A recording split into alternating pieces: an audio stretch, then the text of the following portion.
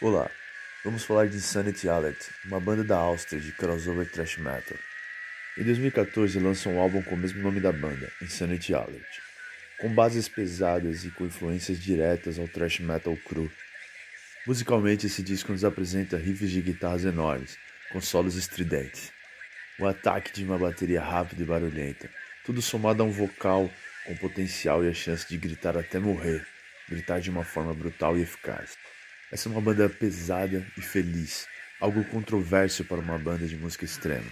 Mas esse disco tem uma ideia de festa de heavy metal, num clima de bom humor e loucuras. O disco tem uma influência punk hardcore, com músicas rápidas e agressivas, letras malucas sobre álcool, erva e ignorância, abordadas de uma forma cômica. Tenet Alert é a nossa indicação de agora, de um bom thrash metal. Deixe nos comentários o que acharam sobre a banda, se inscreva no canal, deixe seu like e nos vemos em breve.